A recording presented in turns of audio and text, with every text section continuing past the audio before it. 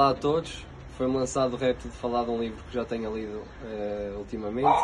Este foi o último livro que li, O Cabeça de Campeão. Uh, é contado uma experiência de um ex-jogador de ténis com um especialista em psicologia. Uh, acho o livro interessante porque fala-nos do tema da psicologia que hoje em dia está muito em foco, que não é só o talento e o, e o trabalho físico que conta, mas também o trabalho psicológico que fazemos e cada vez é mais abrangido por, por nós desportistas, em técnicos, com técnicos em psicologia.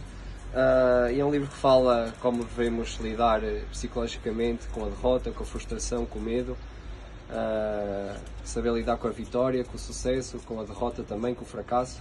E acho, portanto, que é um livro interessante e, e aconselho a, a vossa leitura. Obrigado a todos e abraço.